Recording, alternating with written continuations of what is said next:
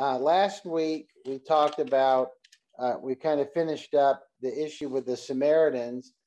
And uh, it says, um, as it goes on, it says, after the two days, he went forth from there into Galilee, for Jesus himself testified that a prophet has no honor in his own country.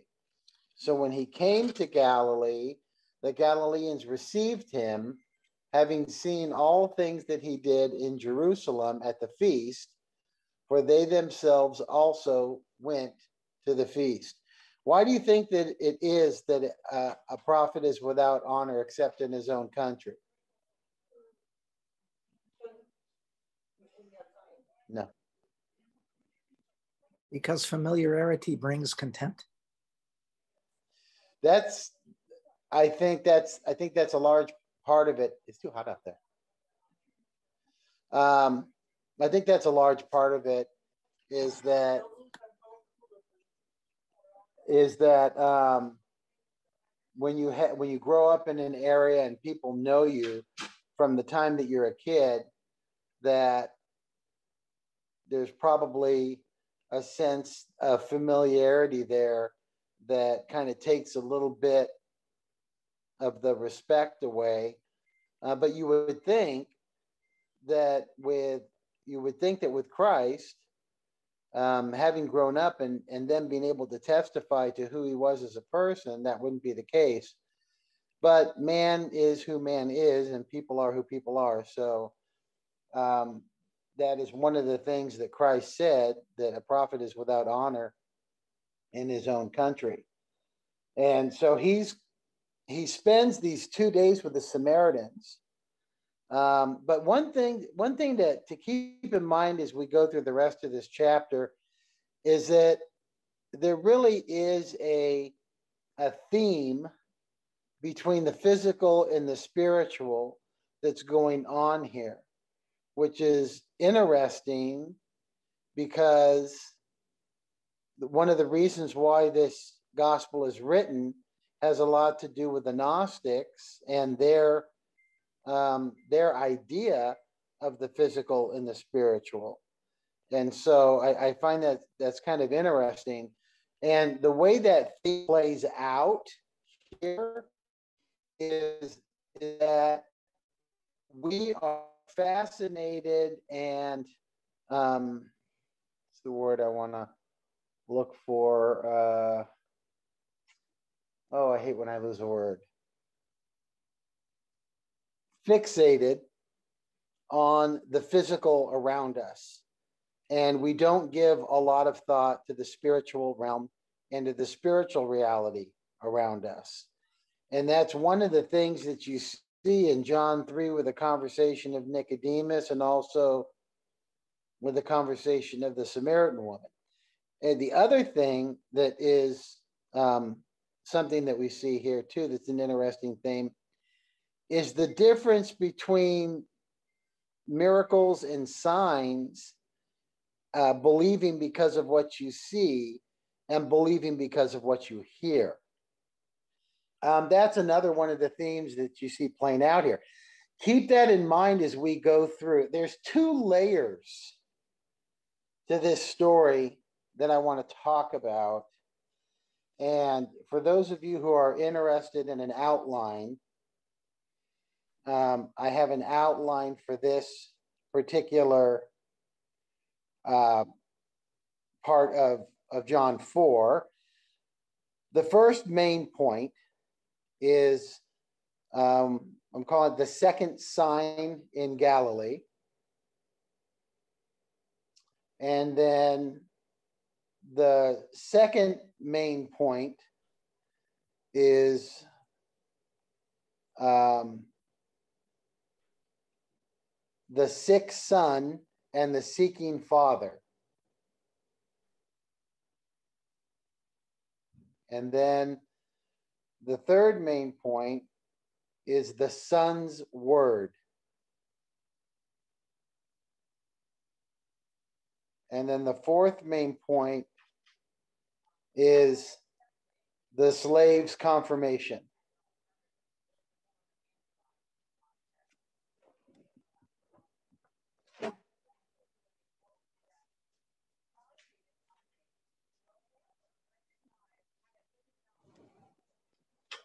I'm back. Had to get my wife's phone for. So those are four main points in this these particular verses 46 through 54. Um, and so let me read the this section and then we'll just go verse by verse. It says, Therefore, he came again to Cana of Galilee, where he had made the water wine. And there was a royal official. This probably means this guy was part of Herod's court. There was a royal official whose son was sick at Capernaum. Capernaum's a little bit of a distance away. When he heard that Jesus had come out of Judea into Galilee, he went to him and was imploring him to come down and heal his son, for he was at the at the point of death. So Jesus said to him, Unless you people see signs and wonders, you simply will not believe. The royal official said to him, Sir, come down before my child dies. Jesus said to him, Go, your son lives. The man believed the word that Jesus spoke to him and started off. As he was now going down, his slaves met him, saying that his son was living. So he inquired of them the hour when he began to get better. Then they said, Yesterday at the seventh hour, the fever left him. So the father knew that it was at the hour that Jesus had said to him, Your son lives. And he himself believed, and his whole household. This is again a second sign that Jesus performed when he had come out of Judea into Galilee. So there's a lot we can glean. Now, the first layer of this, I gave you those four main outlines for that. But then I also want to add to that that also what can be found in this story is what I call the steps to faith. The steps to faith. The first step is desperation.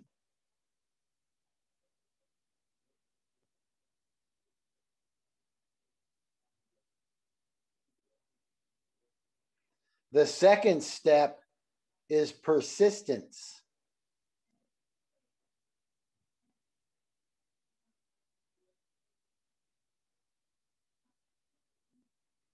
The third step is acceptance.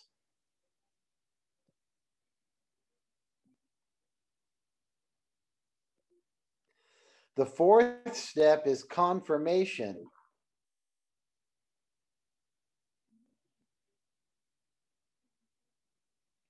And the fifth step is conversion.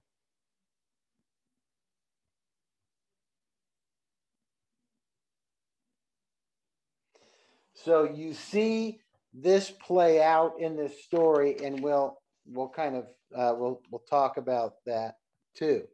So we see Christ coming out of now. Also, there's there's a real contrast here, and you notice Jesus is coming out of the Samaritans. Now, according to what John wrote, Jesus stayed with the Samaritans for two days. But there's nothing said about him doing any miracles. And remember, what's interesting is that the Samaritans said, they were saying to the woman, It is no longer because of what you said that we believe, for we have heard for ourselves and know that this one is indeed the Savior of the world. I think it's really it's it's very interesting and also an indictment on the Jews at this point that the Samaritans were willing to accept and believe simply by God's word where the Jews always needed to see a miracle. And it says that. It says uh, the Galileans received him. Why? Having seen all the things that he did in Jerusalem. Because they were at the feast. So they're excited about him because of the miracles that he did. The Samaritans were excited about him because of the word that he spoke, the word of life. And I think, let me just say that I think that this is an interesting contrast today, if I may draw it, and I will, between what we see as a church in America that lives by having to see miracles and prosperity doctrine in order for them to believe. And another type of church in America that simply believes because their faith is in the Word of God. And there's no necessity for miracles or prosperity or any of that for them to believe what God says. So ultimately, what we see here is that the uh, the importance that our faith be established in God's word. If your faith is established in the word of God, it's an immovable faith. But if your faith has to be supported by your emotions or what you see or miracles or blessings, then your faith will always be at, at risk. I think this is really, to be honest with you, I think this is the difference between a true and false gospel. And I think that we need to understand that because there, listen, there are a lot of. I was watching this documentary today about this uh, faith healer in Brazil, and all these people are flocking to him. And of course, it turns out he's a big fake. But um, the thing is, is that all none of these people they said they were Christians, but none of them knew God's word. Otherwise, when this guy says he's channeling entities, you know, that, that should have been a red flag. He never spoke the gospel. He was it was always about him, and it was always about Saint this or Saint that is speaking through me. You know, and this is part of the problem, I think, is that people who claim to be Christians really do not know God's word. And and I would say, you know, why is that? Well, I think a big reason is is because their faith is not built on the word of God. Their faith is built on their own construct of what they think faith or religiosity or spirituality should look like. And so you have people flirting with new age type of ideas and embracing oh we I, embrace all religions and you know this is the kind of thing that comes out of someone who is not their faith is not a faith born out of the word of god but their faith is born out of their own construct. And we have to be very careful that we do not try to create our own gospel that appeals to our flesh and appeals to us, but that we embrace the gospel that is spoken out of the Bible. And what the reality of true doctrine is as the Bible communicates it. But in order for us to understand that, that means we have to read it. And so um, that is, I think, a challenge in the church today is that not many Christians really study their Bible, nor is it really being uh, taught accurately in the churches as well. So this is a theme that we see running through John, and that is this theme of believing in the Word of God and that your faith is in the Son of God and the Word of God. And so Christ returns, and the Jews there in Galilee. Now, he, I mean, how refreshing it must have been for Christ to be among these Samaritans who were simply believing because of what he said. And now he comes into Galilee and they're excited to see him. Now, get this, they received him having seen all the things that he did. Notice it doesn't say they received him having heard all the things that he said. So their focus is on the outward and on the miraculous.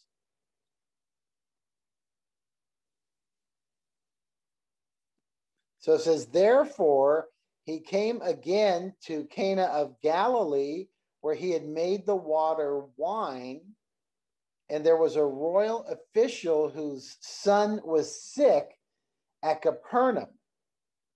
When he heard that Jesus had come out of Judea into Galilee, he went to him and was imploring him to come down and heal his son, for he was at the point of death.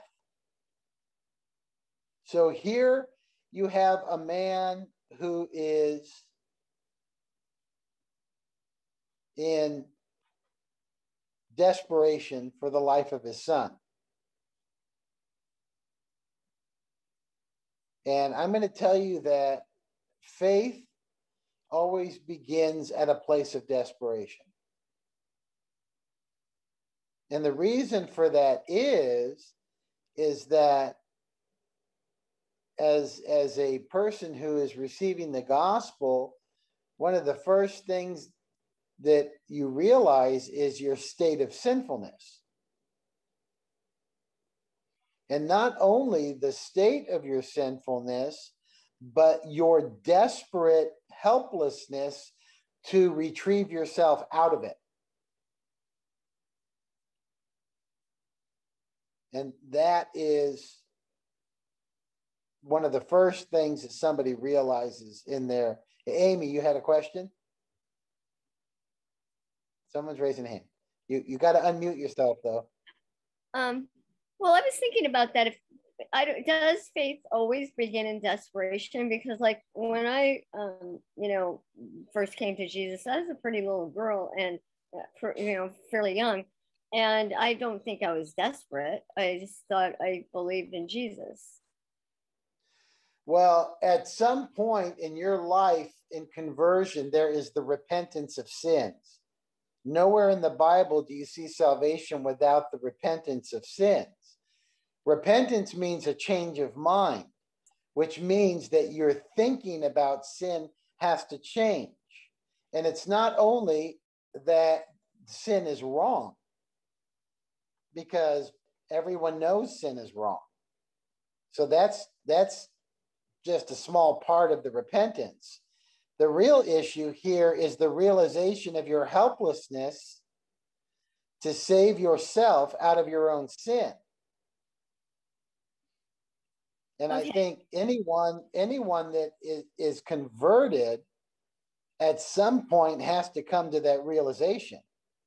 But maybe not right away. I mean, like when I'm well, like I think I, um, I think that I think a lot of times what happens, Amy, is that children who grow up in a Christian environment they believe mentally in Jesus, right? But but they're they don't have the maturity intellectually or emotionally to understand the uh, the the um, the word I'm looking for abstract part of this, and that is um, the issue of sin and death and our helplessness in sin, that is a part of the gospel. and and that and that that's what Christ communicated to the woman at the well, and that's what he communicated to Nicodemus. You must be born again. And so I think a lot of people uh, they say, "Well, I just I was born a Christian," you know, kind of thing, and I just always believed it. Well, at some point, there has to be.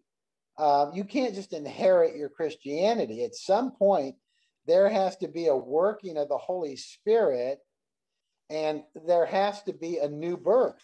Now, I will let me go back to um, the Psalms. No, I'm sorry, not the Psalms. What am I thinking? um, back back to uh, uh, Matthew in this on the Sermon on the Mount. Now, listen to what Jesus says on the Sermon on the Mount. Because what is he talking about? Jesus on the Sermon on the Mount is talking about what it means to come into relationship with God and what is the effect that it has on on on your life. Um, he says, when Jesus saw the crowds, he went up on the mountain, and after he sat down, his disciples came to him. He opened his mouth and began to teach them, saying, Blessed are the poor in spirit, for theirs is the kingdom of heaven. Okay, this is the first step of salvation. Blessed are the poor, and the word there that Jesus uses for poor means abject poverty. It's the type of, of poverty that you don't know where you're getting your next meal and you may not survive to see tomorrow because of your poverty. And he says, Blessed are the poor, the desperate, the desperately poor in spirit, for theirs is the kingdom of God. So, what is he saying here? He's saying the first part of conversion is when you realize your desperate poverty spiritually, that you are bankrupt, that you are helpless, that you are hopeless. And, and if you read the sermon, this is step by step conversion. Because the first part of conversion is the desperation of your own spiritual poverty. Then it says, Blessed are those who mourn. That's repentance. Blessed are those who mourn. Once you realize how spiritually impoverished you are, you respond by mourning. That is uh, re- that is repentance. That is contrition.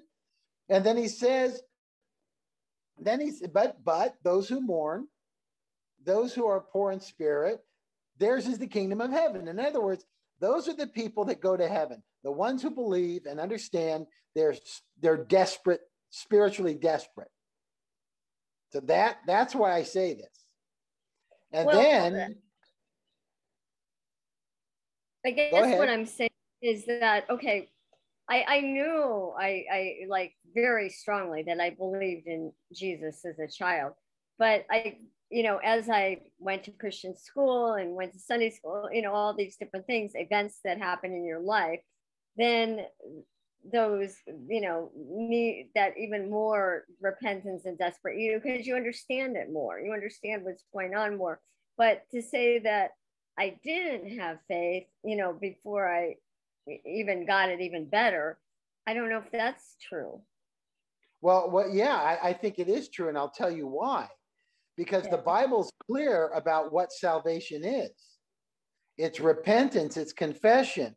Uh, you know, as you grew and heard the gospel, you came to a point in your life where you realized that you were desperately a sinner and you called out for salvation. Okay. You're not going to call out for salvation until you reach that point. That's all over the Bible. That's not even to be contested. There, salvation and the gospel work in a specific way. And again, I point. I'm not. This isn't my opinion. I'm pointing right to the right to the um, the Sermon on the Mount, where Jesus okay, lays this out. If okay, through the you're the elect thing, right? Okay, so eventually you're you know God knew Amy was going to come to that, right? But uh, then no, he didn't know. He didn't know you were going to come to that. he brought you to that. Oh, that's right. He brought he brought me to that. But in in a certain uh step by step fashion. I'm just I'm just trying to get the thing like with little kids who, you know, you know, I believe in Jesus, you know, they're six or seven and the, and they they seem to. I mean, I taught at a Christian school and but are they are they real Christians then yet? Well, I think it well, I think at six or seven, you're kind of at the age you're not at the age of accountability at that point. Oh, okay. So, you know, again, like what I'm saying is you had to come to a specific moment in your life where you recognized your desperation and called out to Christ. That's when you were saved. Now, okay. we now were were you as good as saved when you were little because of God's elective process? Yes. Okay. But That's it's a very important. It's very, yeah, it's very important for us to to nail this stuff down because um, people need to know that in salvation there needs to be this this realization of one's own sin and desperate need for salvation.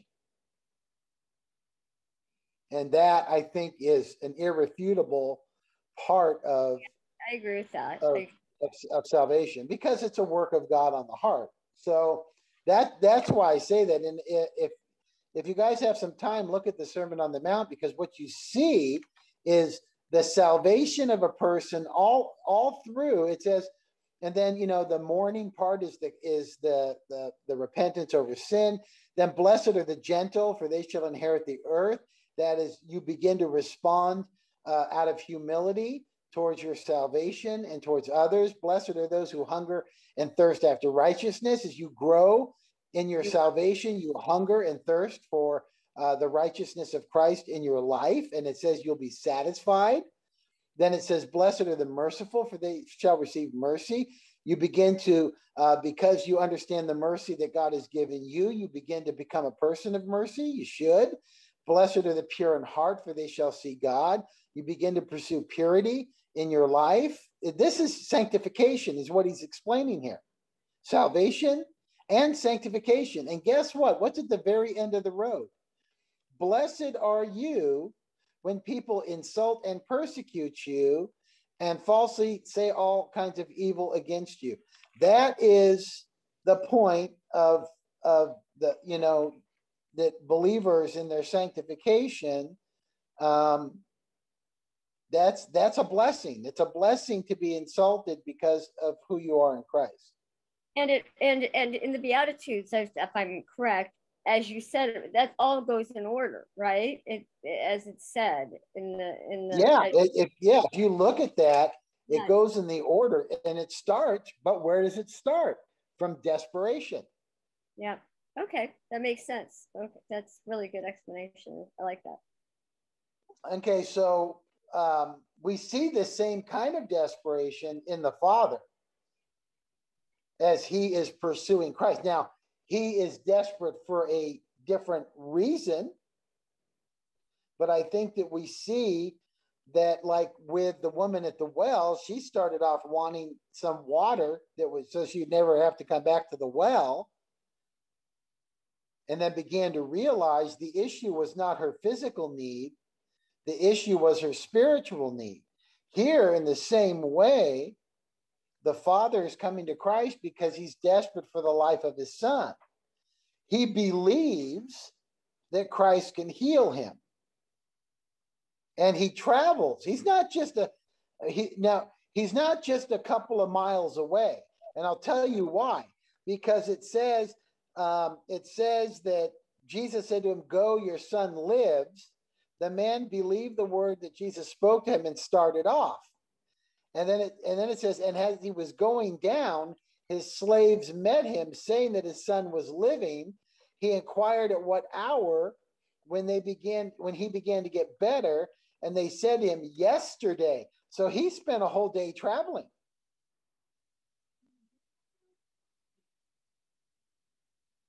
So that that tells you that there's a real desperation there, and, and not only a desperation, but a persistence that this father would travel a long way because he really did believe that Jesus would be able to, to heal him. And it's interesting because it, it says when he heard that Jesus had come out of Judea into Galilee, he went to him and was imploring him to come down and heal his son, for he was at the point of death. So he was trying to get Jesus, you know, to take this whole day's journey with him to see his son. That's that's pretty persistent. And it said the royal official said to him, Sir, come down before my child dies. Now look what look what look what Jesus says to him, because I think it is it is interesting. He says, uh, before he says that, so, so Jesus said to him, Unless you people see signs and wonders, you simply will not believe. Now, this is really interesting how Jesus handles this situation. Because he confronts the man and he says, You know, um, why is it that you guys have to see miracles in order to believe? Why is it that you can't just take my word for it? So, what does he do? This is interesting because it shows the compassion of Christ, but it also shows um, Christ bringing this man to a, a faith that is not a faith that is not established on works, but on his word. So the, the royal official said to him, Sir, come down before my child dies. And Jesus said to him, Go, your son lives. Now look at what it says. The man believed the word that Jesus spoke. Now, do you think John wrote that on accident or do you think he's trying to make a point? This man wanted his son healed. He believed that Jesus could do it. Jesus did heal his son, but he made the man take him at his word. He, he, did, he didn't go down with him to the man's house. He simply said, Go, your son lives. And how did the man respond? Did he say, No, no, no, you got to come down? He believed Jesus. He took Jesus at his word and he left. Now, what does that say about what the man believed, the power that and authority that resided in Christ? That Christ would be able to heal simply by a word spoken, you know, 50 miles away. That's a that's a pretty amazing thing on its own. But it also put this man at a crossroads to either continue to beseech Christ to come down and heal his son, or to take Christ at his word. So you see the man's desperation and you see his persistence, but then you see his acceptance. He believed. The man believed the word that Jesus spoke to him and started off. Now, he didn't hang around, he left. Hey, Tony, quick question went. for you. Sure. Sorry. So, I mean, he believed, but he didn't know who Christ was just yet. Is that right? Um, you know what? I'm not sure who he thought Christ was, a great prophet or whatever, but he believed he had the ability to heal his son. And he and what's interesting is that Jesus said, to him, You won't believe unless you see signs. So what's the implication there? What is he what is he saying? What does he want him to believe? He wants him to believe his words and not just And what was his miracles that he words? And what was his words? His words were the gospel. The gospel, yeah. So That would have been And I know, think the, it- the I think it, I think it shows later on we we it answers this question that whether he understood Jesus to be the Son of God, the Messiah, at that point or not, by the time he gets home, he he knows.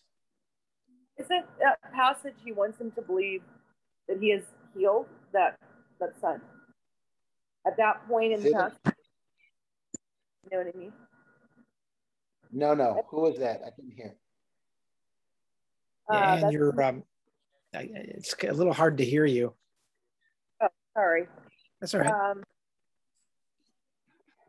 I was saying that I think he wants him to believe that he has healed his son.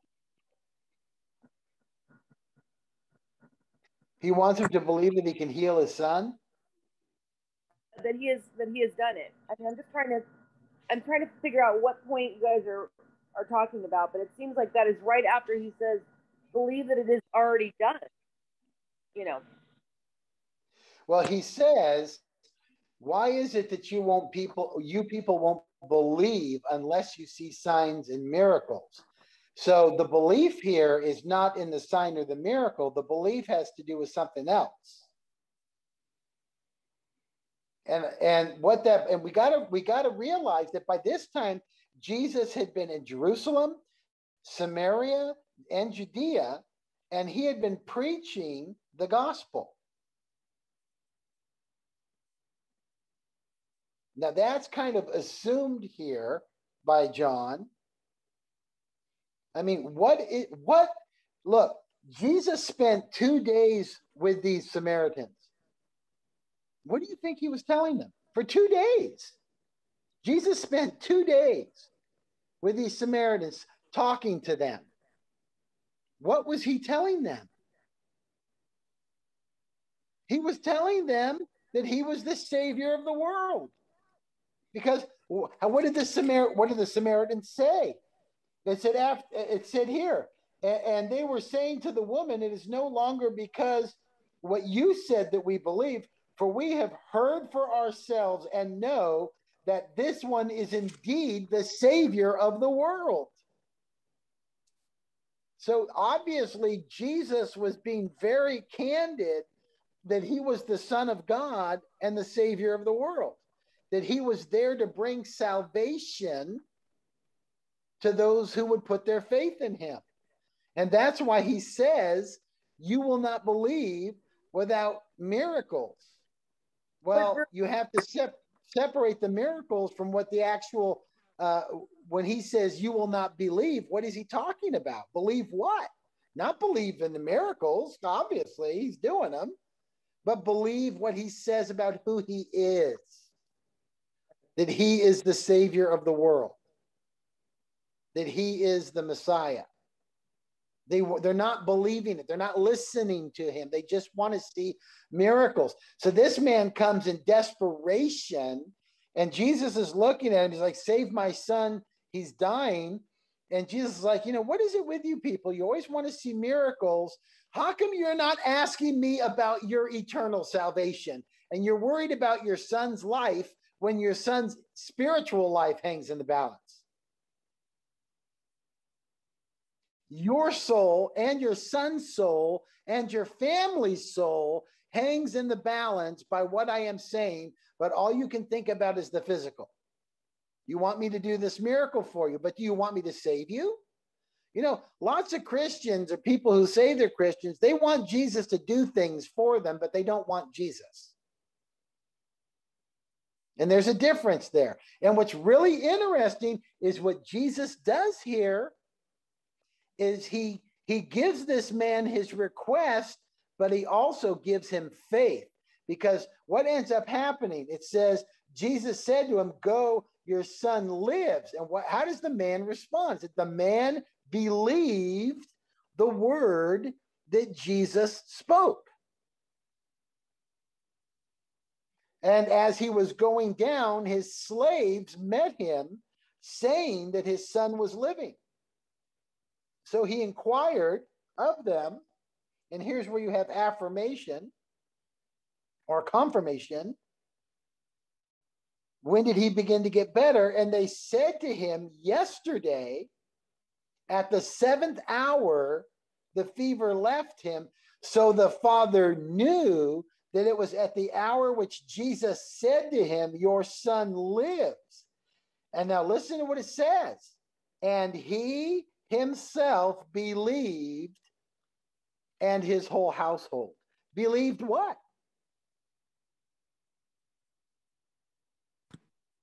They believed he was see, the Christ this- at that this- point.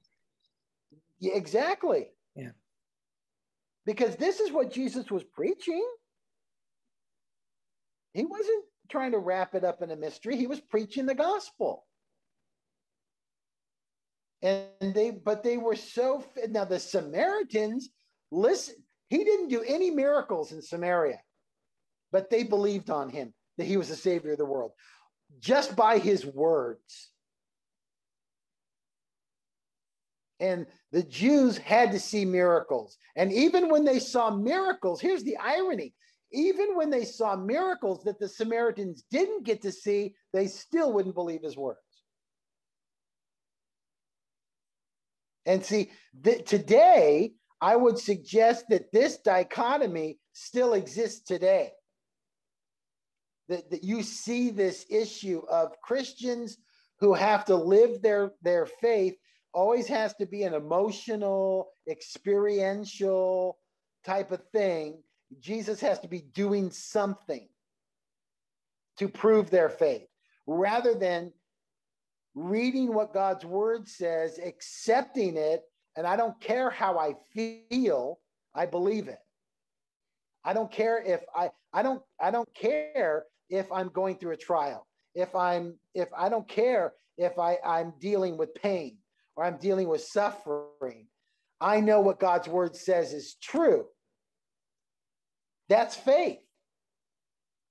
And the problem is, is that so many of the churches today are preaching a gospel that is antithetical to this. It's a gospel of prosperity and a gospel of, you know, and then on the other hand, you don't have that. You have these these liberal theologians who are who are preaching uh, gospels of embracing everything. That Jesus isn't the only special one. Just be a good person and do good things. That's not the gospel either. These people are just as lost as, as people who think they have to have a miracle to believe in Jesus. You either believe the word of God and abide by it or you don't. And, and that kind of faith is the faith given by God. That is saving faith. And so John is using this miracle to again accentuate this point of what does it mean to be saved? What does it mean to believe? What does that really look like? He shows it in the conversation with Nicodemus. Then he shows it in the conversation with the woman at the well. Then he shows it at the conversation with the Samaritans. And now he shows it again in this conversation and reaction with the, the, the, the father in regards to his son. And so it's it, it's really interesting. We have to. It's really important that we understand that. And I think be, because we, you know, obviously we we don't have all of, you know, the sermons that Christ spoke and what he did. Like John says, it would fill all the books in all the world. Um, but we have to understand that Jesus wasn't walking around being mysterious. Jesus was very, I mean, come on. We're going to see later on. In fact, John, John really makes it clear that Jesus made it clear to everyone that he was God. And so there was no, you know, there wasn't any ambiguity about what Jesus was claiming because that's why they crucified him. So I think, you know, that's that's important for that's important for us to to to understand that. Hey Tony, can I ask you one more So- question? I'm trying to keep it pithy. I really am. Um, No, no, that's fine. We're, we're fine because I'm at the end Yeah. of this here. So we're getting ready for the Q and A at this point. Okay, great. Um, so I mean, these people, you know, like the woman, the Samaritan woman, they're all figuring out who Christ is even before the disciples are. I mean, wasn't Peter the first one to figure it out? Or, I mean, I remember when. Well, we see we see Peter say, you know, well, I no, I I the disciples believed that he was the Christ. That here's the problem. No one really understood what that meant. Yeah, they didn't know what it meant. That makes sense. Okay. right so Yeah. so and, and and and and here's the thing can you come to a saving knowledge of christ without the knowledge of all that that you know who jesus is in a sense yes because the issue is you are responding you know he can save you you know his death has saved you and that he's the son of god but that's very little knowledge as you begin to get into the word and you grow as a Christian, you learn so much more about who Christ is, right? So, um, in the same way, the disciples are, this is developing uh, revelation for them. You know, they believe that he's the Messiah, but they don't know what that means. They don't know he has to die, that he's going to raise again, uh, that they're going to have to go in. You know, they're at this point, the disciples are probably thinking, well, you know what? We're going to go into Jerusalem. We're going to overthrow the Romans. Yeah. We're all going to sit on thrones. I mean, that's what they're thinking. That Jesus is like, boy, I got a surprise for you. But- that's that's okay. That's where they're at at this point. The it, So that- here's the issue. Is that a saving knowledge though at that is- point? Um, it's it's well, what did Jesus say to them when he washed their feet? He said, "My word has made you clean." Right. Okay. So here's what what's the difference between someone who is a, a believer in the Old Testament as opposed to a believer in the New Testament? The believer in the Old Testament believed that God, by his mercy, would cleanse them from their sins. So their faith was in God for their salvation, that they were saved by faith. Now, here, as as things are being revealed, and a true a true Old Testament believer, and this is what you see happen, by the way. It, what happens in the book of Acts when Peter preaches this sermon and 5,000 people are saved at the drop of a hat? Boom, boom, they're saved. Those people were Old Testament believers who are now becoming New Testament believers. They were already living by faith. And that's the thing a real believer will always accept what God's word says about Christ. The Old Testament believers, they believed that their their salvation was by God's mercy to cleanse them of their sin, not by any works that they did. They just didn't know how he was going to do it. When Jesus was presented to them as God's means, because they were truly saved, they embraced it and received the Holy Spirit. Okay. and that's a lot those who were about. not it, well it is because Yeah. you have to say well how did people in the old testament get saved Yeah. well you know it's it's it's it's very simple you go over to um you go over to to, to galatians and um what does paul what does paul say uh You foolish Galatians, who has bewitched you, before whose eyes Jesus Christ was publicly portrayed as crucified. And then he goes into um, talking about, um, let's see, where he talks about uh, the, the scripture, okay, the scripture foreseeing that God would justify the Gentiles by faith, preached the gospel beforehand to Abraham, saying, All the nations of the earth will be blessed in you. And then and then he goes on and he he he says that those of you who say that um, the law of Moses, uh, he says here, we who are Jews by nature and not sinners among the Gentiles, nevertheless, knowing a man is not justified by the works of the law, but through faith in Christ, even we have believed in Christ Jesus, and we have been justified by faith in Christ, not by works of the law, since by works of the law no flesh will be justified. And that is a quote out of the Old Testament. And it's, uh, I won't want, it's not the one I want to find. Um, hold on. Let me get to this. This is when he. Oh, I'm sorry. I'm not seeing it. And I hate when I do that. I very rarely can't find something, but for some reason, I'm not seeing it. It's in Galatians, and he talks about it's always been by faith that salvation has occurred because Abraham accepted God's word by faith and it was credited to him as righteousness. And for some reason, I, uh, I really need my glasses. Yeah, it's really frustrating. Where's Robert Lou when you need him? Yeah, where's Romans Robert? 4 3. Robert? Ah, What? Ro- Romans 4 3. right on, Robert. I knew you'd come through.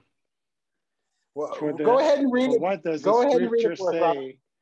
Abraham believed God and he was credited to him as righteousness. Romans 4 3. I was thinking Galatians 4. Right, No wonder that I one? couldn't find the book. Yeah, that's that's exactly it. It was credit it, it was credited to him. And in Galatians, Paul makes the argument because the Judaizers were saying that the Mosaic law came before Christ. Therefore, the Mosaic law takes precedence over the gospel. But then Paul comes back and says, yeah, but Abraham came before Moses, and Abraham's faith, uh, Abraham's righteousness was through faith. So it's always been by faith. So those who were saved in the Old Testament were not saved by doing the works of the law, they were saved by faith. And that faith was that God would cover their sins by his mercy. That if they were to confess and repent, he would wash their sins away. And so they those who believe that, like David, right? Those who believe that were saved, obviously, or, or that means no one was saved until the first Christian. So those those who were saved were always saved by faith in in in God.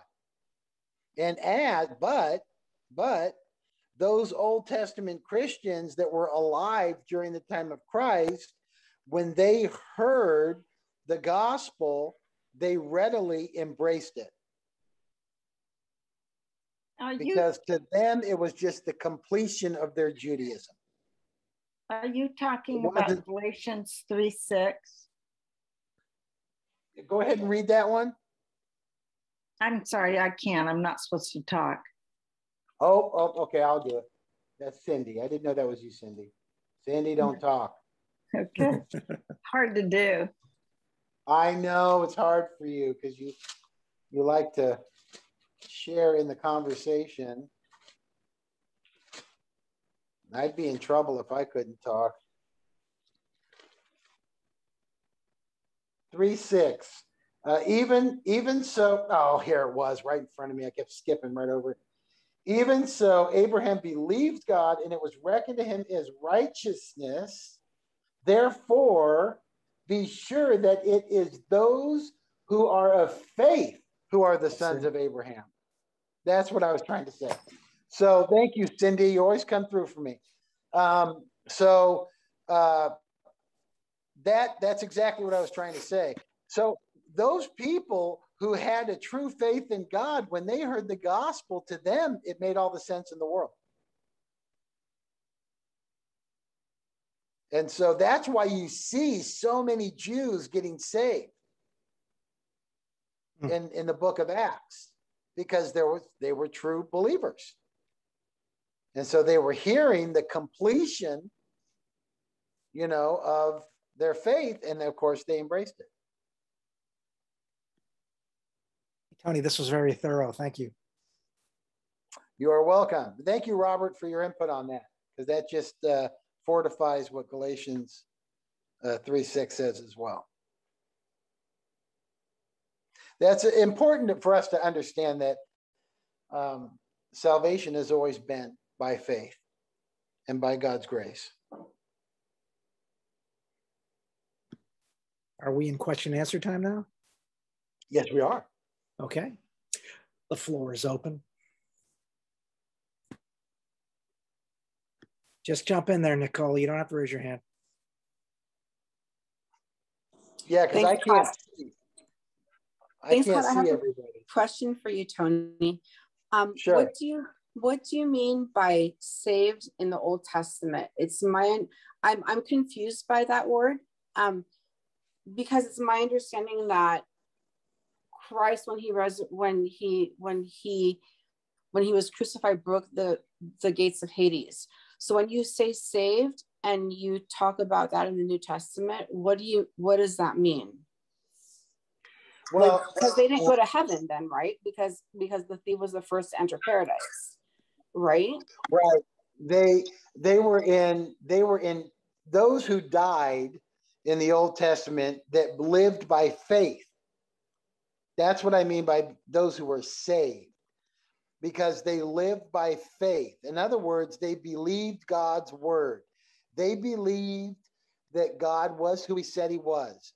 They believed that if they sinned, they could come to him and he would wash their sins away that their salvation was always based on the merciful act of God to wash their sins away. Okay, I hear you. Thank you for clarifying. I wasn't sure if that meant that you were saying that they went to heaven before Christ was crucified. Well, no, nobody went to heaven until until Christ was crucified, and then he led everyone into heaven from Hades. Right. Yeah, I just wanted to make sure I was understanding that correctly. Thanks, Tony. No problem.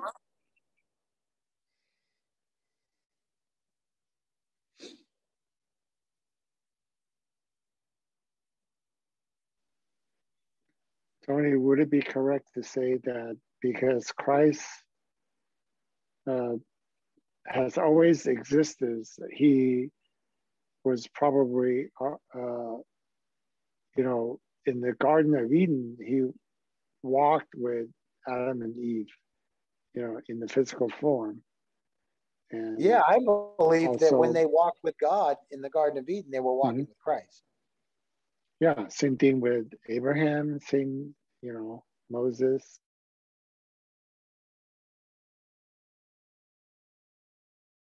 Mhm. So if they believed then, um, it was credited to them to, yeah, for their righteousness. Mhm. They knew that God, it was God that was going to, to cleanse their their sin.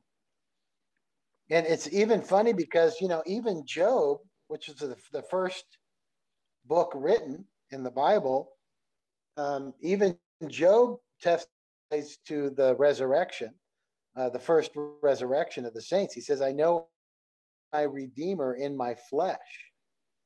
Mm. Though I die in my flesh, I will see my Redeemer. I don't know if I can find that. But no, I'll have Robert do it. Robert will look it up. He's got the computer. I don't have the what's the what's the quote? that's in Job. Uh, Job says, um, "Though I die in my flesh, I will see my Redeemer." Something like that. Job will see 19, 25 Redeemer. through 27. What is Sorry, it? Robert. I, uh, Job 19, 25 through 27. What? Go ahead and read it. Well, let me pull it up. Hold on. Sorry, Robert, I didn't mean to grandstand on you. Oh no, no, no, no. it, it just uh, when you do a search, if it is not exactly, I'm not Uh, gonna yeah. get the right. Yeah. Job 19, what? 25 through 27 for i know that my redeemer liveth king james here and that he shall stand at the latter day upon the earth and though after my skin worms destroy this body that's kind of gross yet in my flesh shall i see god whom i shall see for myself and my eyes shall behold and not another though my reins be consumed within me that's all i got That's a pretty, that's a, and that's the first book of the Bible written. And he's Yeah. testifying to the resurrection and seeing hmm. his Redeemer face to face in his flesh. Though the worms destroy my flesh, yet in my flesh I will see my Redeemer.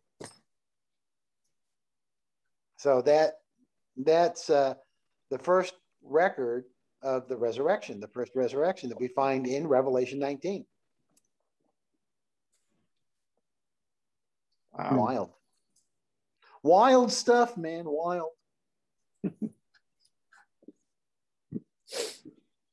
There's a lot of stuff in, in Job. Uh, Job uh, talks about the earth being round. Yep. Job talks about the hydrological uh, the hydrological system. hmm He lays it all out: evaporation, condensation, and uh, I was going to say perspiration, but it's uh, what do you call it when it rains? um, Precipitation. precipitation, yeah. precipitation. Thank you. Evaporation, condensation, precipitation. Yeah, the hydrological cycle. He talks about that. So, I- I mean, just the first book of the Bible written, and you see all this, you know, stuff in there. The first resurrection, the fact that the Earth is round, the hydrological system. I mean, it's just really interesting. kind of mentions dinosaurs too doesn't he Dinosaur in Job 40, Yeah, Really? he does. the behemoth. The great behemoth. It sounds like uh, Brontosaurus. hmm So basically, uh, that kind of puts Job in the same time as the dinosaur. So or at least knowing human- about them. yeah, You know,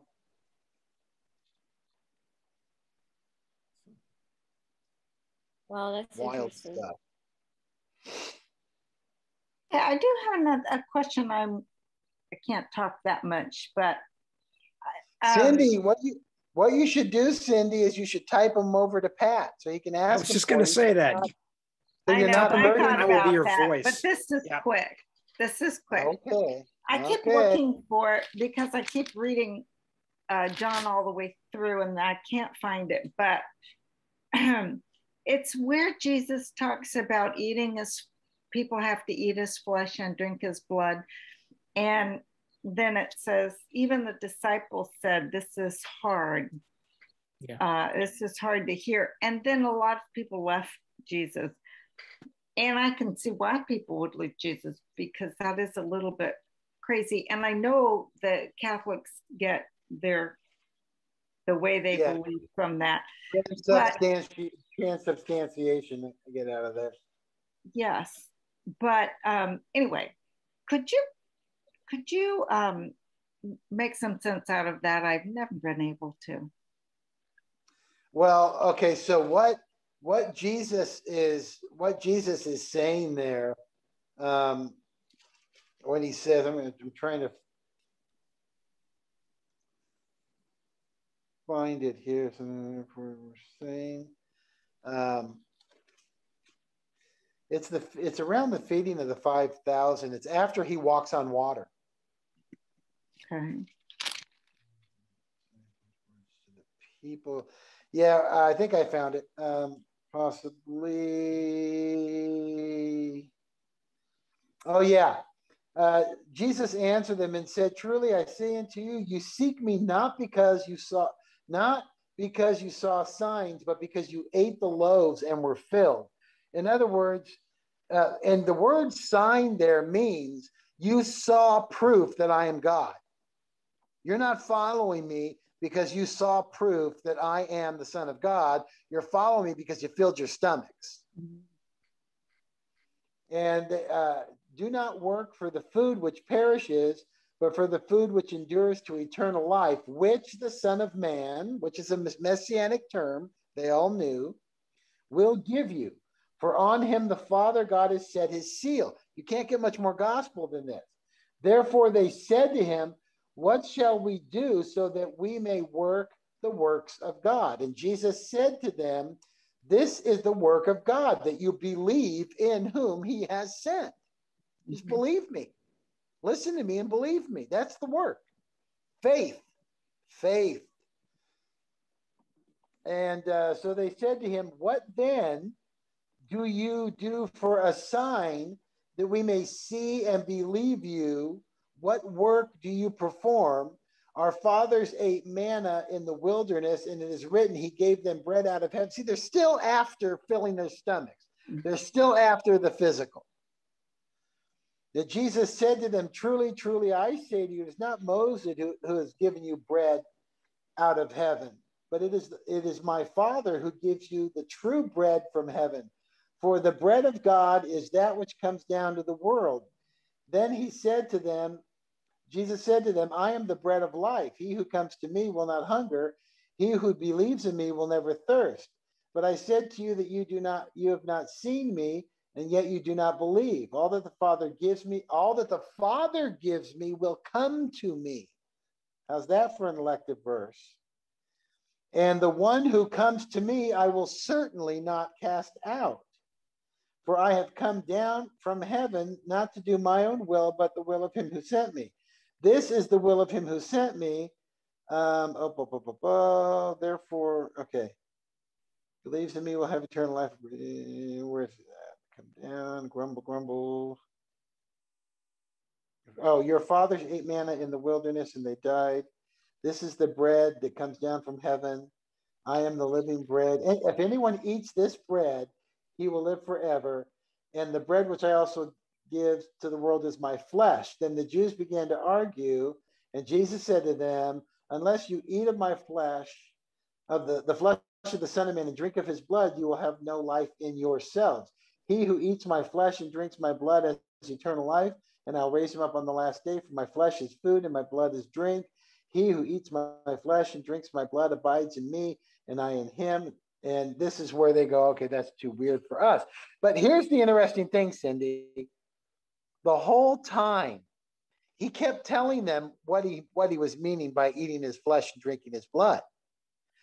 He's he, he kept saying that that you know uh, your fathers ate manna in the wilderness and they died. This is the bread that comes down out of heaven so that one may eat of it and not die. So all along, he's comparing himself because they want to eat bread for their stomachs. Oh, Moses gave us manna. He goes, Well, number one, Moses didn't give you manna, I gave you manna. And he says that. He says, Jesus said to them, Truly, truly, I say to you, it is not Moses who has given you the bread out of heaven, but it is my Father who gives you the true bread out of heaven. Moses didn't create the manna, God created the manna, and now God has given you a better bread for you to eat of. What he's talking about, uh, Cindy, is he's talking about the gospel. Christ's body was broken for us and his blood was shed for us. And when he says, You must eat of my flesh and drink of my blood, what he's saying is, You need to have faith in my death and my resurrection. You need to understand that my body being broken for you and my blood being spilled for you is what is going to bring you eternal salvation because that's what he keeps talking about here is eternal life so they, because again, um, they're spiritually blind at this point, and the the crucifixion hasn't happened. Even the disciples, right? But what's what is the what is the divider here? This is what's interesting. Um, G, uh, it says, uh, therefore, many of disciples who heard this said, "This is a difficult statement. Who can listen to it?" But Jesus, conscious that his disciples grumbled at this, said to them, Does this cause you to stumble? Uh, what then if you see the Son of Man ascending to where he was before? It is the Spirit who gives life. The flesh profits nothing. The words that I have spoken to you are spirit and are life. See, he's making the connection for them. The blood, the the flesh, this is his crucifixion. I'll be ascending. My my words are life. The spirit are is in my words. But there are some of you who do not believe, for Jesus knew from the beginning who was it that did not believe and who would betray him. As he was saying that, uh, and he was saying this for the reason I've said to you, the, no one can come to me unless no one can come to me unless it has been granted to them by the Father. Can't make it much clearer than that. As a result of this, many of his disciples withdrew and were not walking with him anymore. Why? This is an issue of faith. Are they going to believe his words? And not only that, when you can't fully understand the words of Christ, will you believe in him anyway?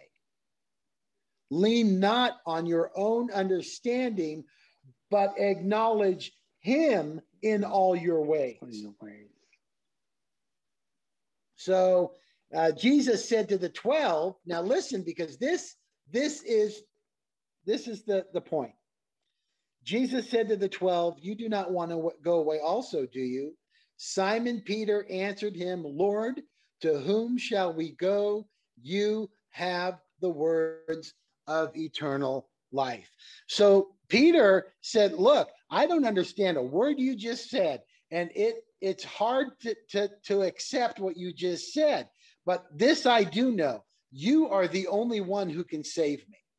My faith is in you. And even when I don't understand your words, I'm going to place my faith in you because I'm not going to lean on my own understanding.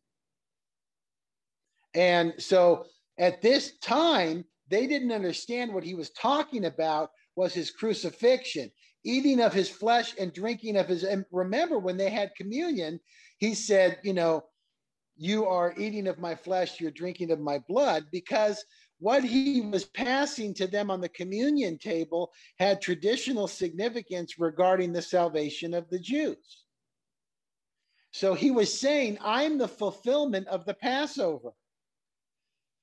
It will be my flesh that is broken and my blood that is spilled for your salvation. Now they understood this afterwards, right? But as he said, but even though they didn't understand it, they trusted him. Him. And that's the point. Because there are going to be times when you know you're going to go through trials in your life and you're not going to understand why God is actually doing it, but you're going to trust in the person of Christ even though you don't understand the circumstances. And there's a lot of things we read in the Bible that we may not understand, but we still what? We trust in the word of God, we trust in the person of Christ. And we realize I'm not going to understand everything and and but sooner or later I'll find out what it means. God will open it up to me and then I'll understand it. So this here is a preaching of his death and the need that the Jews need him to die and, and to, to have his flesh broken and to have his blood spilled. He needs to do this to bring them to salvation.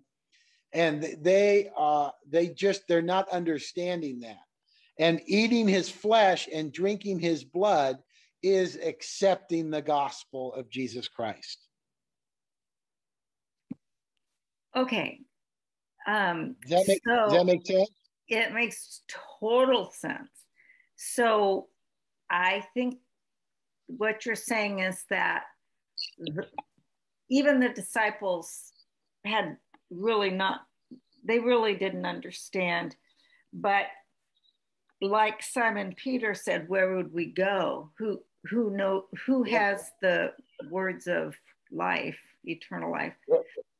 Basically, what he's saying is I don't understand the words you just said, but because they're coming out of your mouth, I know that I need them.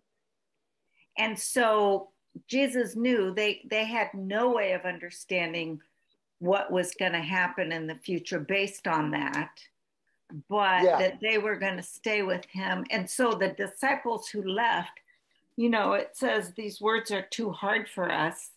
They left because it wasn't worth it for them to stay. It was too too confusing and also it sounded pretty you know it, it sounded pretty awful. What are you talking about eating your body and drinking Yeah, your I- blood?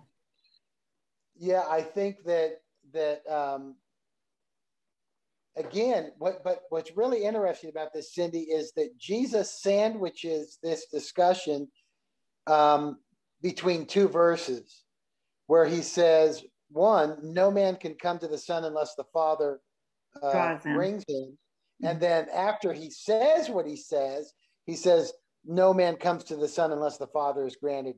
You know, or I will not lose any the Father has given me. hmm hmm So he sandwiches those. In other words, no matter how hard my words will be, those who are the elect will continue on. yeah okay that makes total sense Because it, it's God, it's God's spirit that is bringing them along, Mhm, overcoming their doubts and fears and Mhm. you know that kind of thing. mhm. And we, by the way, we also don't know that that later on after the crucifixion, we don't know that that these other disciples may have have come back and realized. We don't know. We can't assume that you know uh, they never got saved. you're right because now it makes sense Now it makes sense, right? hmm hmm thank Hey, you Tony, So, it, it- yeah, uh, would you mind talking about the uh, transubstantiation, knowing that among us there might be some brother, brothers and sisters might be coming from that faith? yeah. That that the transubstantiation is a uh, it's a misunderstanding of of um, what communion is. Um, I, still, I mean, I I I get it. You read this passage, but you have to read this passage in the context of what Jesus is saying regarding the manna in the wilderness um, and what that means. Uh, and, and, and then, you know, obviously, when he's giving the communion in, uh, in the, uh, the Last Supper, you know, he says, This is my body, which is, this is my blood. Um, this is figurative language. But for whatever reason, and, and I think, to be honest with you, I think the Catholic Church uses it as a way to consolidate power over and influence over their people. Because if you want to participate um, in the blood and body of Christ in order to go to heaven, you've got to come to the Catholic Church to do it, where the priest can magically transform the bread into the actual flesh of Christ and the wine into the actual blood of Christ. So, a lot of Catholic theology was designed to keep people imprisoned within the Catholic Church. So how did they do that during the pandemic? I have something to share about this. May I? Who, who's that?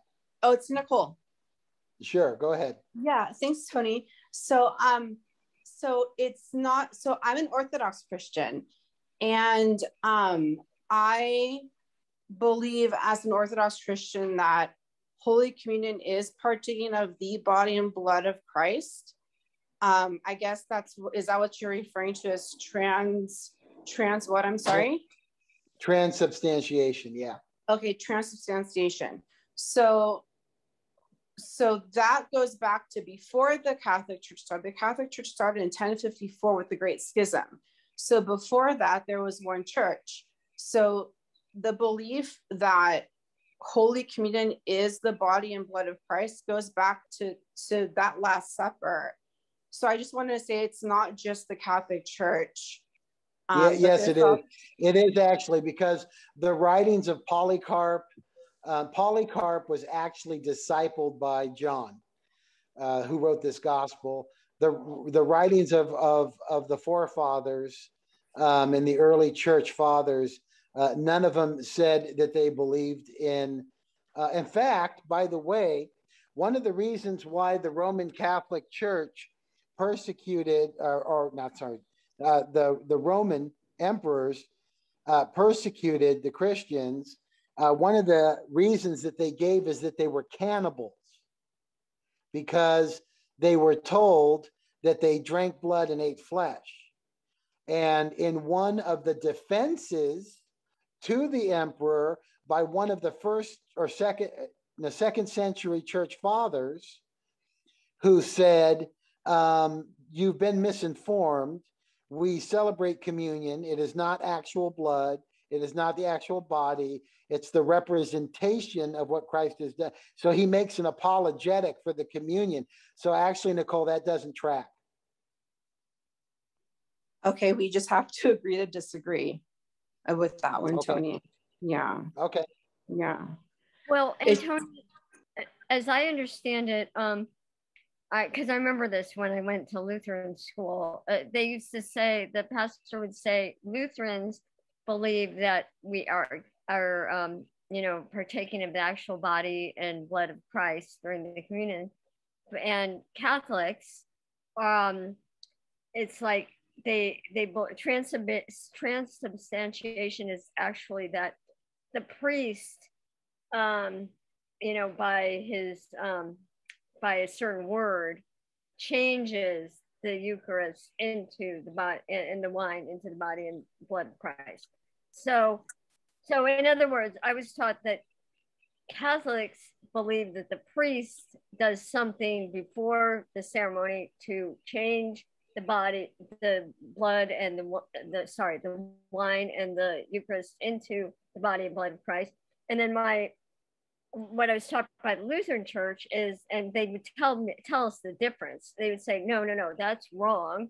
The priest has no power to change it. That just by partaking of communion, you are partaking in um, uh, in in eating the body and blood of Christ. That's what Lutherans used to say. Yeah, that's that's uh, the Catholic is transubstantiation, Right. and that that is the belief that the Eucharist actually actually transforms into the body and blood of Christ.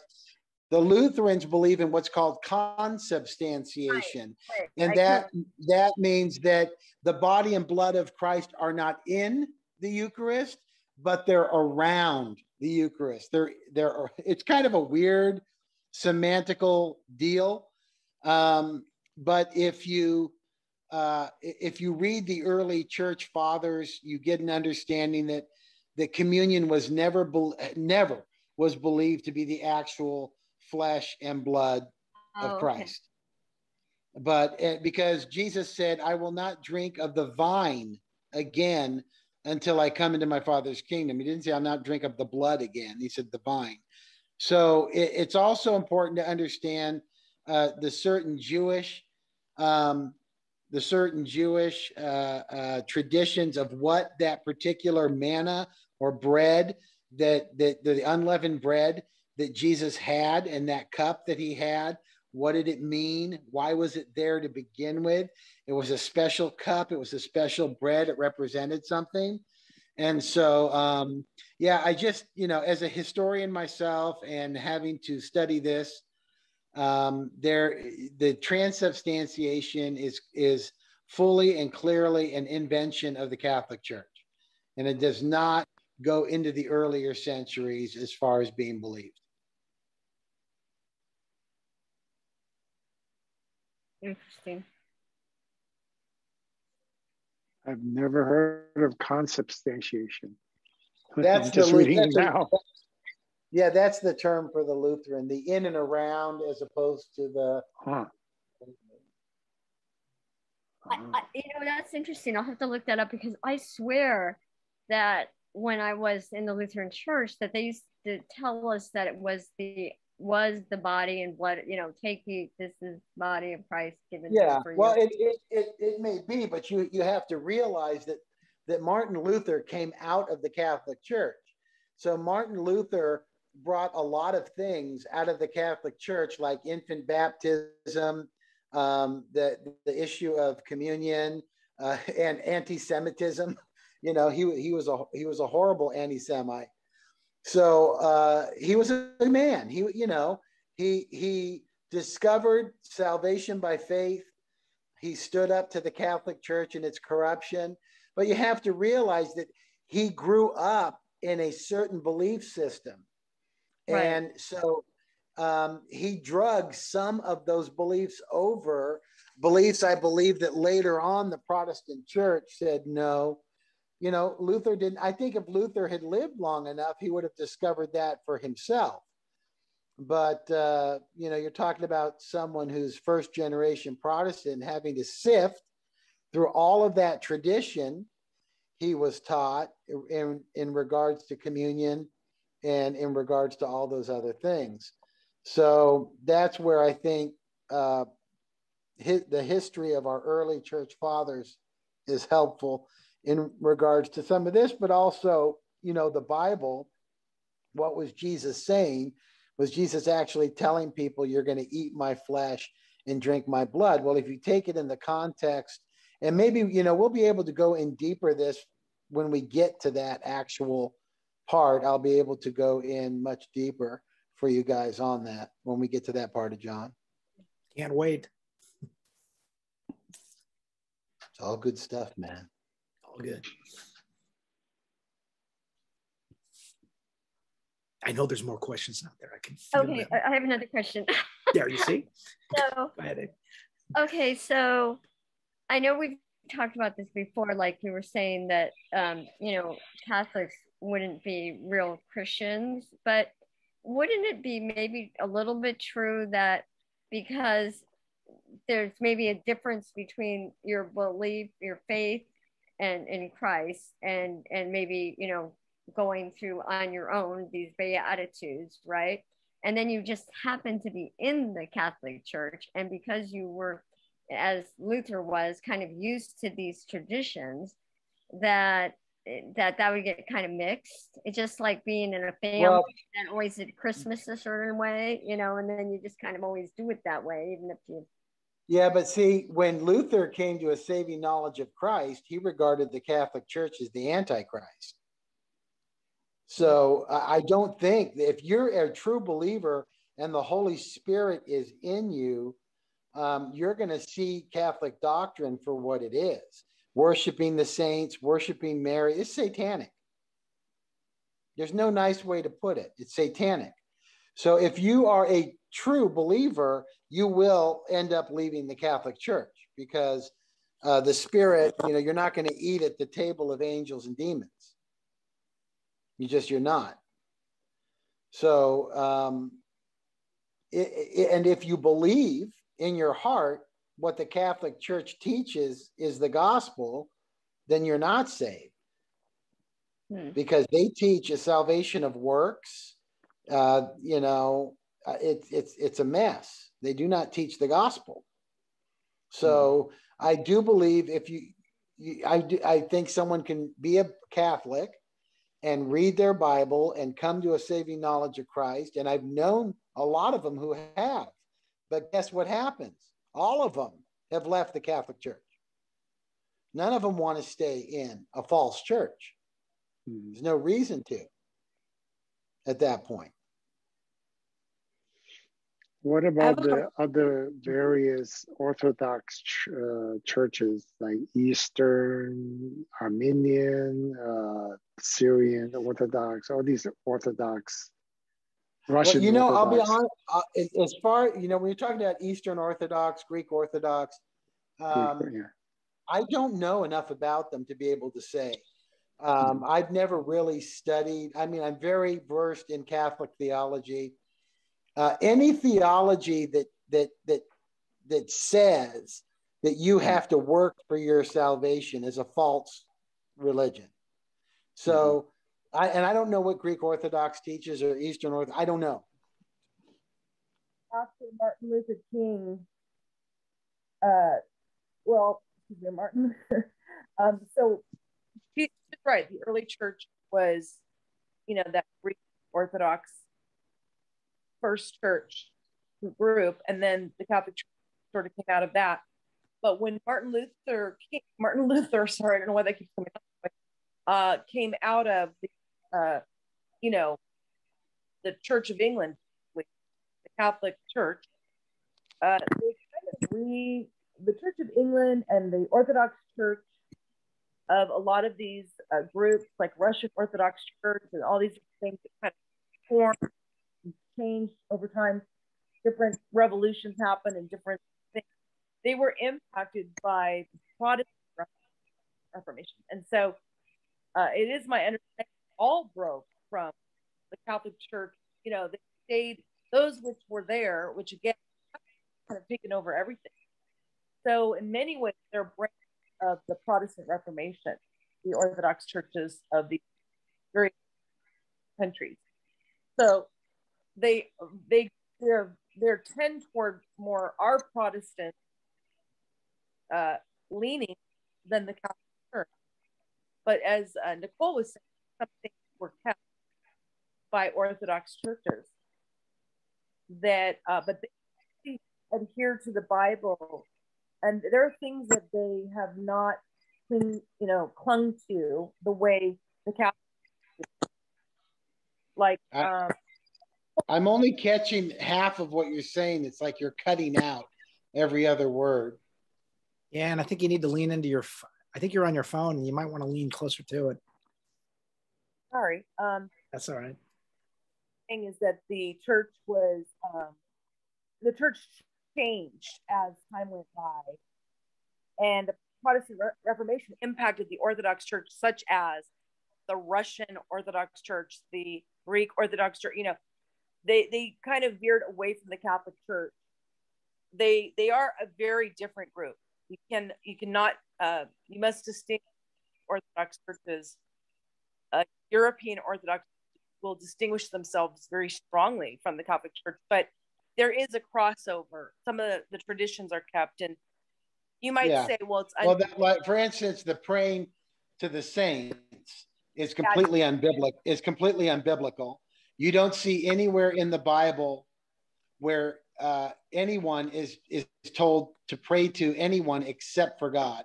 Uh, there's the Bible clearly states there's only one mediator, one mediator between man and God, and that is Jesus Christ our Lord.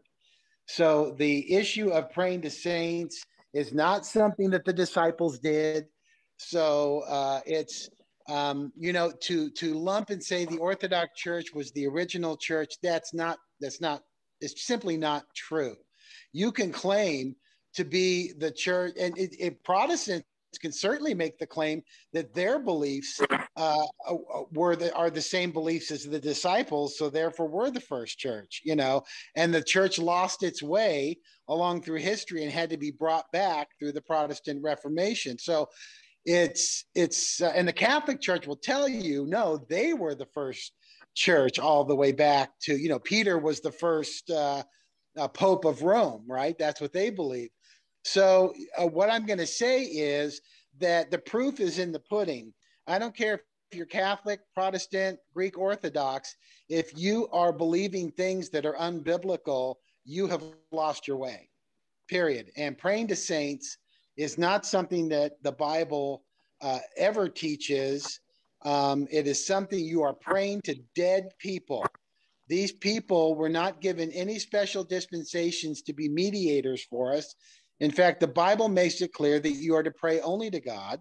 And the Bible makes it clear that there's only one mediator between man and God, and that is Jesus Christ. So these are some of the things that, um, you know, the disciples would have never embraced any, a lot of this stuff that's so called orthodox.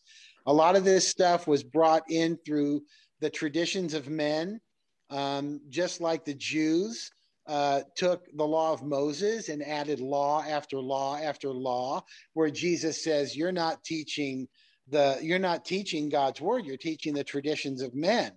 So, in the same way as Christianity um, worked its way down through history, there was a lot of bad teachings added to it um, that are simply not, they're not biblical. They're not. And praying to saints is not biblical, it's actually satanic. Yeah, there's definitely two schools of thoughts, one of them being sola scriptura, which it sounds like that's definitely where you're coming from, Tony. There's definitely the other school of thought, which is the, the holy tradition and the church tradition as well.